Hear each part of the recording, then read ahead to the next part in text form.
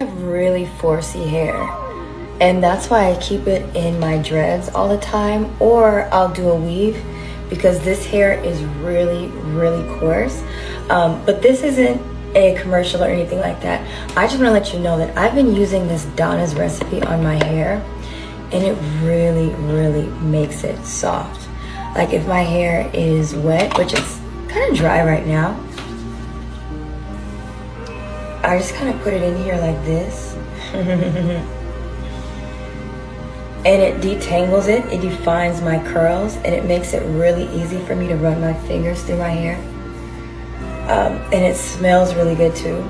Anybody else who has 4C hair, Donna's recipe for me has been thick enough and hydrating enough to really make my hair soft and manageable and um, really define the curls.